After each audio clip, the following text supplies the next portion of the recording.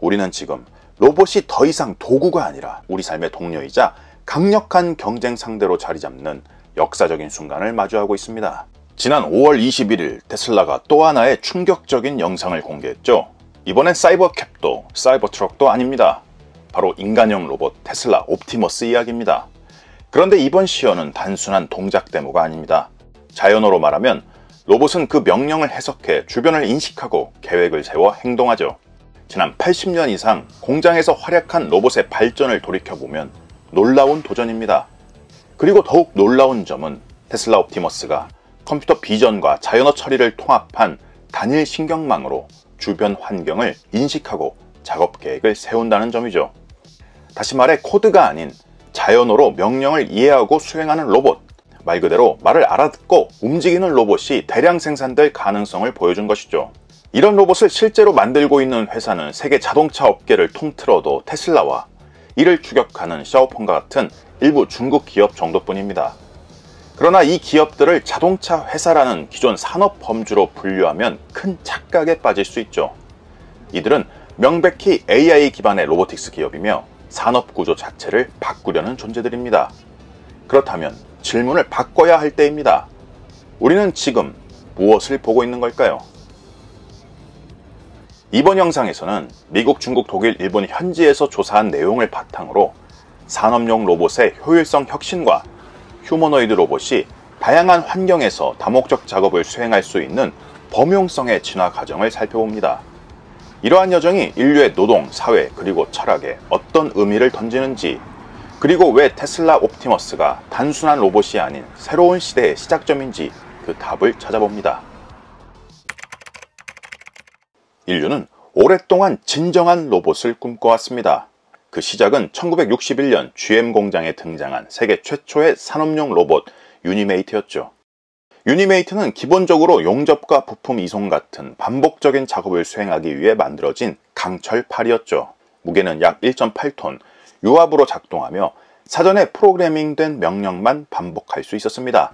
센서도 인공지능도 없었고 주변 환경에 적응하는 능력은 전무했습니다. 하지만 그 단순한 기계는 대량 생산의 혁신을 끌어낸 자동화의 출발점이었습니다. 유니메이트는 단순한 기계가 아니라 산업사회의 패러다임을 바꾼 상징이었죠. 유니메이트 이후 산업용 로봇 시대를 주도한 국가는 일본이었습니다. 도요타 공장에서 활약한 가와사키의 로봇, 정밀 가공으로 유명한 화낙, 그리고 모션 제어의 강자 야스카와는 1980년대, 90년대 세계 산업용 로봇 시장에서 약 50%의 점유율을 차지하며 로봇 대국 일본을 완성했습니다. 특히 도요타 산업기술 기념관에 전시된 제조 시스템은 용접, 도장, 조립에 최적화된 가와사키 로봇의 기술력을 보여줍니다. 시간이 흐르며 일본 로봇의 가장 큰 수입국은 중국이 됐습니다. 전기차 생산 기업들과 배터리 제조 라인에서 일본산 로봇이 정밀성, 품질, 속도를 동시에 향상하는데 결정적 역할을 했죠. 일본 기업들은 전략적으로 현지화에 나섰습니다. 환학은 중국 공장 전용 생산 기지를 설립하기도 했고 야스카와는 중국 합작법인 설립으로 로컬화에 적극적으로 활동했죠. 결과적으로 저임금만으로는 불가능했던 대량 고품질 생산이 가능해졌고 일본의 정밀 로봇 기술은 중국이 단순 조립에서 고속 자동화로 도약하는 발판이 되었습니다. 2000년대 이후 독일의 쿠카와 중국의 여러 로봇 제조사가 시장 점유율을 확대하며 일본의 독점적 지위는 약화되었죠. 하지만 이 모든 로봇은 본질적으로 정해진 좌표에서 반복 작업을 수행하는 기계에 가까웠습니다. 인간과 상호작용하지도 상황에 따라 판단하지도 못했고요. 오늘날 테슬라의 옵티머스가 제시하는 방향은 완전히 다릅니다. 예전 로봇은 일일이 사람 손으로 동작 매뉴얼을 짜줘야만 움직였지만 이제는 로봇이 사람의 말을 듣고 스스로 어떻게 할지를 생각해 행동합니다. 일본이 설계한 정밀 기계의 시대가 있었다면 테슬라가 열어가는 건 범용 지능이 깃든 로봇의 시대입니다.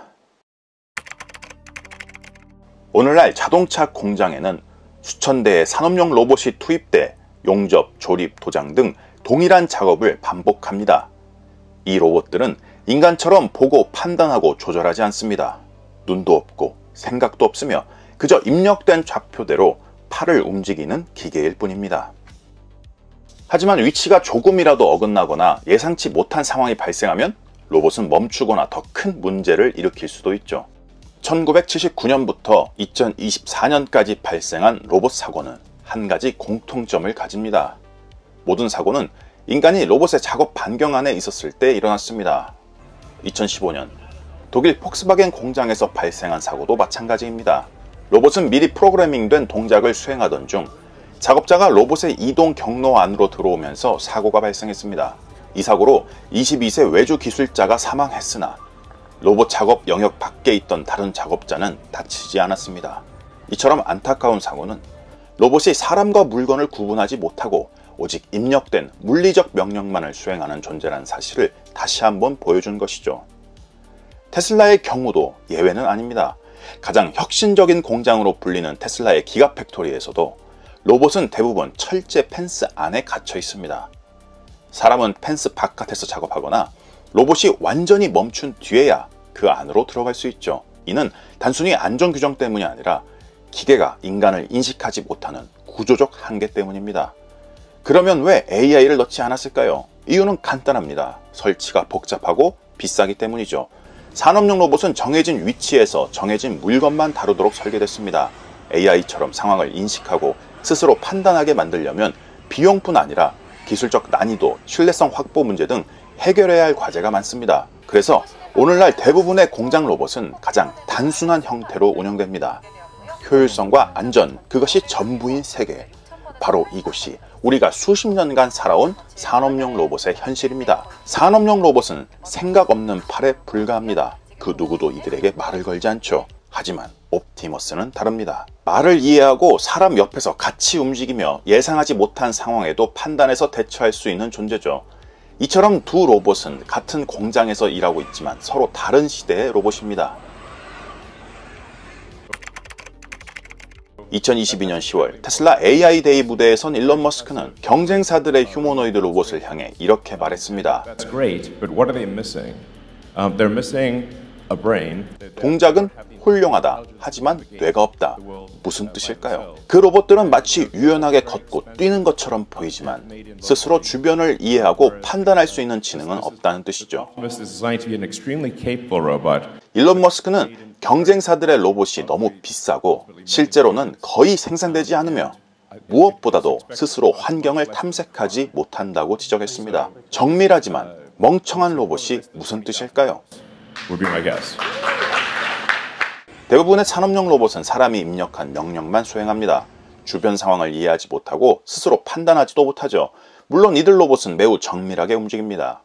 물체를 잡고 일정한 궤도로 매끄럽게 움직입니다. 전통적인 로봇들은 PID 제어기라고 불리는 정확한 속도와 힘을 조절하는 수학적 계산 장치로 움직였습니다. 로봇은 물건을 너무 세게 잡지도 너무 약하게 놓치지도 않도록 움직임을 정밀하게 조절해주는 시스템을 사용한 것이죠. 덕분에 부품을 아주 정확하게 옮기거나 반복적인 작업을 실수 없이 처리할 수 있었죠. 하지만 중요한 건 로봇이 왜 움직이는지, 무엇을 위해 움직이는지를 이해하지 못한다는 점이죠.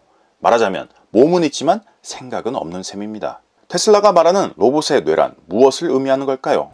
일론 머스크가 말한 로봇의 뇌는 바로 AI 신경망입니다. 로봇이 카메라로 주변을 보고 그 정보를 바탕으로 무엇을 해야 할지 스스로 판단하고 명령 없이도 학습을 통해 점점 더 똑똑해지는 능력이죠. 테슬라는 이 기술을 자율주행차에 먼저 적용했고 이제 그 경험을 옵티머스 로봇에 이식하고 있는 겁니다. 로봇의 뇌는 신경망 기반 AI 시스템이라는 개념을 중심으로 이 기술을 비전, 인지, 판단, 학습, 제어까지 통합하는 방식으로 구현하고 있는 기업은 현재 시점에서 보면 테슬라가 가장 수직적으로 통합된 전략을 선도하고 있는 기업 중 하나입니다. 월터 아이작슨의 일론 머스크 전기를 보면 테슬라가 인간형 로봇을 걷게 만드는 것조차도 처음엔 엄청난 도전이었다고 말합니다. But what are they missing? Um, they're missing a brain. 2022년 10월 테슬라는 AI Day에서 첫 번째 옵티머스 시제품을 세상에 공개했습니다. 본격적으로 개발을 시작한 지 불과 6개월 만의 성과였죠. 하지만 당시 옵티머스는 움직임이 굼뜨고 보스턴 다이나믹스의 아틀라스와 비교되며 많은 조롱과 회의론을 불러왔죠.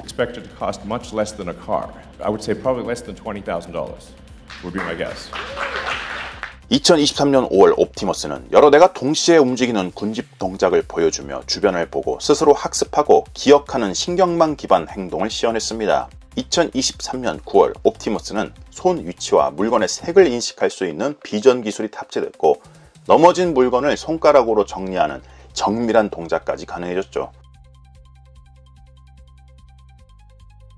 2023년 12월 드디어 2세대 옵티머스가 등장했습니다. 균형 잡힌 보행, 더 섬세한 손동작, 그리고 물건을 잡을 때 얼마나 세게 쥐어야 할지 인식할 수 있는 감각까지 갖췄죠.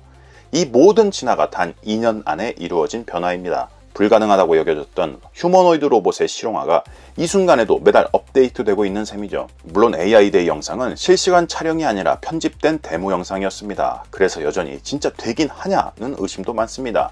그러나 시간이 갈수록 로보틱스 업계 전문가들은 테슬라의 속도, 전략, 그리고 통합형 신경망 방식에 놀랐죠. 옵티머스가 보고, 느끼고, 판단하는 건 무엇을 의미하는 걸까요? 테슬라는 옵티머스의 눈 역할을 하는 카메라가 물체를 정확히 인식하는 장면을 공개했습니다. 이는 자율주행차처럼 현실 데이터를 수집해 AI를 훈련하는 방식을 로봇에도 똑같이 적용한 결과였죠. 즉 로봇이 세상을 눈으로 보고 머리로 생각해 몸으로 반응하는 구조가 만들어진 겁니다. 테슬라 경쟁사와의 결정적 차이는 무엇일까요? 현재 경쟁사들의 휴머노이드 로봇은 대부분 정해진 동작을 반복할 뿐 세상을 스스로 탐색하는 능력은 부족하죠. 게다가 단가가 높아 소량 시범 생산에 그치고 있죠. 반면 테슬라는 신경망 기술을 활용해 로봇이 스스로 판단하고 움직이는 지능을 설계하고 있으며 이 모든 기능을 자동차 공장에서처럼 저비용 구조로 대량 생산할 준비를 하고 있습니다. 그렇다면 테슬라의 궁극적 목표는 무엇일까요? 바로 로봇이 보는 것, 느끼는 것, 움직이는 것, 이 모든 비용이 충분히 내려가면 결국 수백만 대 단위로 생산되는 세상이 올 것이다 라는 것이죠. 테슬라는 향후 로봇 생산 비용을 자동차 수준 또는 그보다 더 낮게 낮출 가능성이 있다고 보고 있습니다. 산업용 로봇은 수십 년 전부터 존재했습니다. 하지만 그들은 한결같이 정해진 구역에서 같은 동작만 반복하는 팔이었죠. 용접, 조립, 도장처럼 정형화된 작업만 수행하는 고정된 기계였습니다. 이곳은 유럽 최대 제조업 전시회인 독일의 하노버 메세입니다. 여기서 우리가 조사한 것처럼 2010년대에 들어 일본과 독일 기업들은 사람과 나란히 일하는 협동 로봇을 선보였죠. 협동 로봇은 충돌 감지 센서와 토크 센서 덕분에 사람을 다치게 하지 않고 펜스 없이도 같은 공간에서 안전하게 일할 수 있게 됐습니다.